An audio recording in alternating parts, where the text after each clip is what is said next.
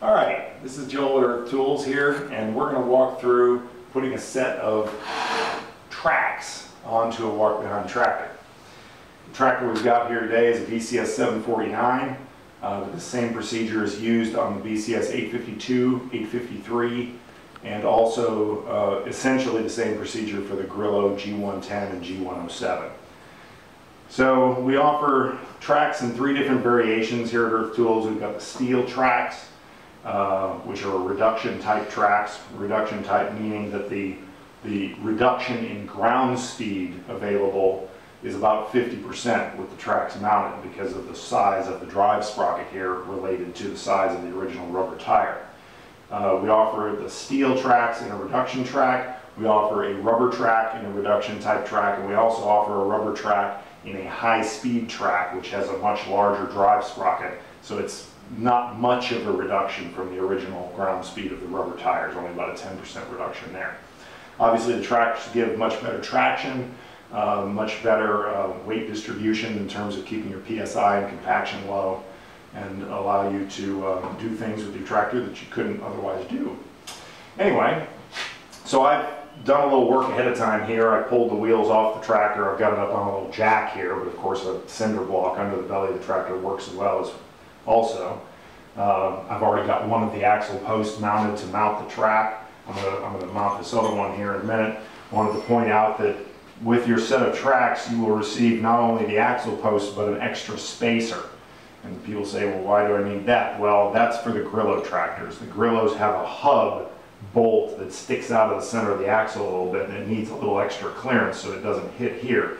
So with the Grillo, you use that spacer behind it and you also use the larger of the lug nut holes. There are two patterns here, one with smaller holes, one with larger holes. The larger for the Grillo, the smaller for the BCS because BCS has smaller studs. Since we're putting this on a BCS, I'm to discard that. You can make an interesting um, you know, art thing out of it for your uh, hang on your rearview mirror. These all on here. These are 17 millimeter heads on these nuts on the BCS, It would be 19 millimeter on the Grillo. I'm cheating. I'm using an electric impact. The handheld ratchets work just as well. Take a little more time. Okay, Next thing we're to do is we're going to mount the brace bar assembly to the back of the tractor. This is all the stuff that's going to come with your tracks. You're going to get this brace bar, you're going to get some set of clamps, you're going to get some nuts and bolts obviously, and you're going to get these uh, what I call the, the vertical slide bars. And all this will make sense once we start getting it assembled. The first thing we're going to put on is the big brace bar for the back and I'll talk a little about why this brace bar is here. Okay, so I could just slide these tracks into place, put the bolt in to lock it onto the axle, and go out and start doing something, like running a moldboard plow through the ground or whatever. But if these tracks don't have some kind of a location limiter system to keep them within a certain range of operation, then what happens is as soon as I put the tractor in a really hard pull, say I'm going along with the moldboard and I hit a rock with the plow, then the, the torque of that axle will find it easier to simply rotate the entire track assembly than to drive the machine. So this track, which is triangular shaped, starts to spin around. Well, the first thing it does is crush the muffler and then it hits the cylinder and you're kind of out of a motor at that point. So when you've got a track that's mounted to a single axle like this, unlike a bulldozer or something that has two sprockets actually attached to the frame, here we've just got one axle point, you've got to have some kind of a location system that's very rigid and uh, not going to move. So that's what this thing is going to be once we get it all assembled. On the BCS tractors, this thing is engineered to slide in between this tow hitch. This is your tow hitch double clevis right here. This is going to go on top of the lower clevis. And we've got this spacer that's going to take up the space between this piece and the upper clevis. This is very important because if you put this on the bottom, which could be done, and put the bolt nut down through here, you would actually, as you tighten it, you would actually crush this clevis together and the thing would never stay tight. So we've come up with this system here, which takes up all the space very neatly. Got a washer on top, washer on the bottom. Thread this together. This is a, uh, 27 millimeter nut and bolt. Crank this down.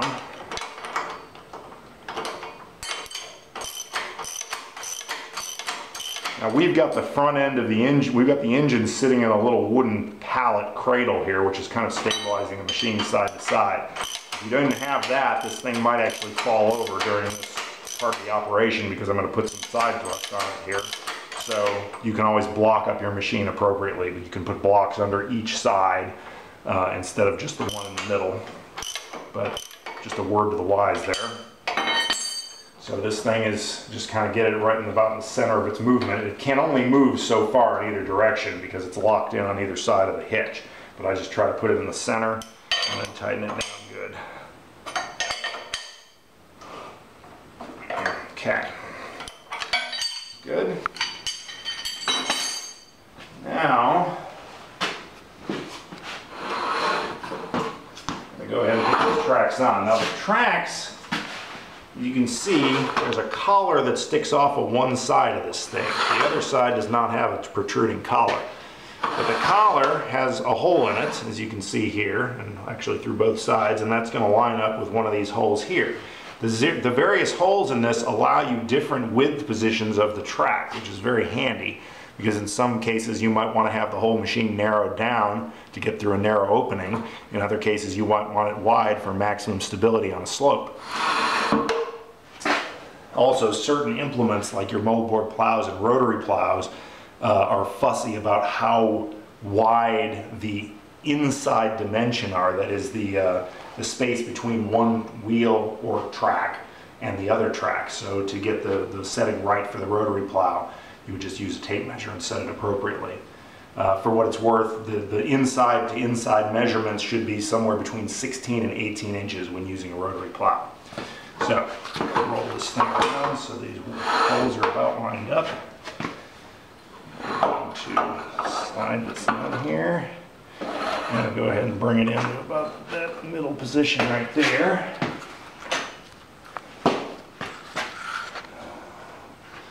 Okay, that's a pretty wide stance, but that's okay. Get this bolt wiggled up through the hole. There we go. 17 millimeter fasteners will be needed there, so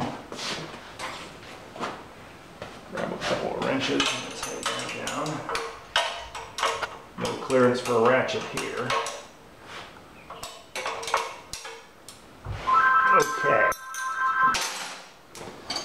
Now, we're going to install these clamps. This goes on here. And then these, let's see if I'm doing this right. I believe that's right. So, that's the intercom, but we're not getting it right now. So this is gonna slide down on here. This is gonna slide in the side here. And this thing is gonna go on this post on the bottom. And that's your location system pretty much. And so as the tractor moves forward and backward, I won't be able to do this with this thing still on the jack, but as this thing moves up and down, essentially this vertical bar is gonna slide through this little eyelet and it's going to, the, the travel of how far this thing can move is limited by where you put these bolts in because these bolts just strike on the bottom and top of this flange. So I'm gonna put them in, oh, I don't know, roughly about there. I think that'll work we can test the, the throw once we get it all put together. You need a certain amount of movement because the tractor has to be able to tilt a certain amount to get the implement up and down onto the ground. So you can't just have one setting on this. So I'm gonna put those on like that. There are some washers and cotter pins that go down there on the bottom. So we got here, they give you a total of eight washers, so it's going to be four for each side.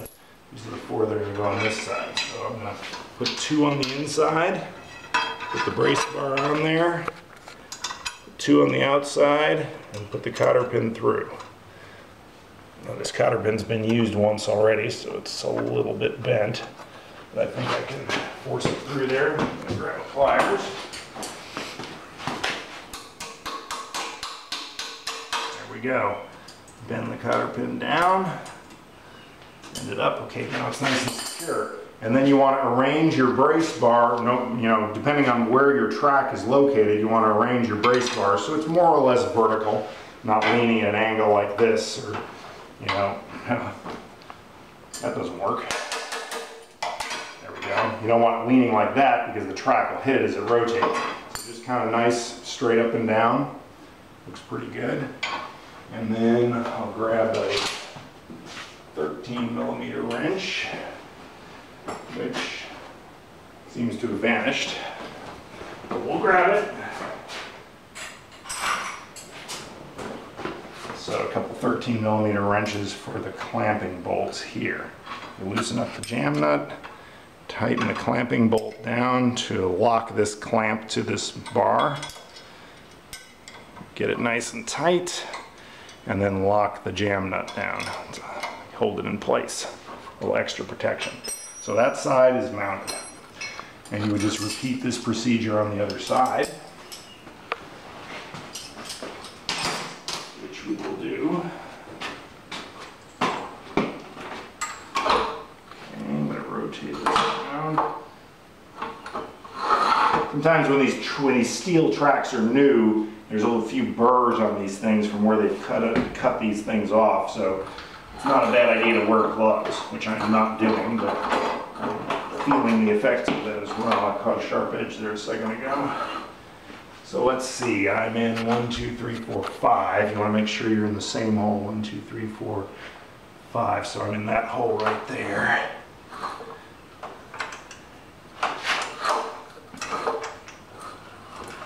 Wherever that hole is, there we go.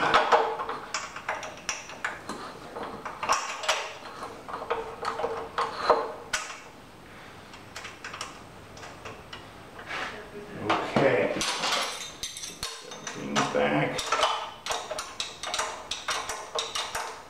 So if you wanted to change the width of your tracks at some point when you were working on it, say this was great for mowing on a slope, but now you want to narrow them up to use the rotary plow, all you would do is take out this bolt and nut on each side, slide it into the appropriate hole, and of course you'd make sure to loosen up this clamp here on the top so that this top bar could slide in with it. So we bring these into the appropriate hole, put the nut and bolt back in, and then, you know, make sure this is vertical and go ahead and tighten your clamps in place and you're done. So changing the width is extremely easy. So, get these things going the right way.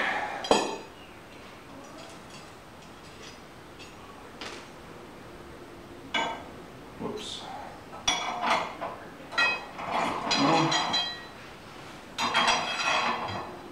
Nope, that's backwards. We go like this. All right, so now, one, two, three, one, two, three, and we come up about the same distance on each side. And once we get the tractor off the blocks here, we'll check and see if we've got these in the right position. Two washers on the inside, two washers on the outside. And our cotter. And these cotter pins are just generic. If yours goes bad after taking it on and off a few times, you can just pick them up at any hardware store. Nothing special. It's not a metric cotter pin or anything. Okay. Tighten this down. Ah, the gear wrench. Always wrong the first time. Okay, get that lined up pretty vertical, right there. Tighten the clamping bolts. Jam nut. And uh, voila, we've got tracks. My jack here.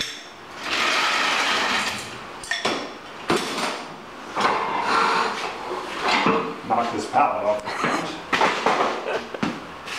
And there we are. So this, the amount of movement we've got on these tracks probably a little excessive actually. I might lower these bolts a little bit because I probably want this bolt to bottom out before the engine actually hits the ground. So I'll, lower that down a hole or two. But, uh, but you can see that the angle that's allowed on the backside is enough to get that implement into the ground nicely. And you've got all kinds of adjustment here. So, you know, depending on the implement you're using and the application you're using it for, you, you can put these things as close together or as far apart as you need to to give yourself the oscillation that you want. The important thing is that there are bolts above and below this brace because that keeps the track from rotating all the way around. Now, when you're using the track, uh, you'll find that the steering of the machine uh, is almost exclusively with the independent steering brakes, which are located up here on your handlebars. On the Grillo, they're both on the same side here. But uh, with the steering brakes, this thing handles amazingly well. You just brake one wheel and the thing just crawls around. Sounds like a, a tank. and we're actually thinking of coming out with a howitzer attachment. No, I'm kidding. So that concludes the segment. Thanks.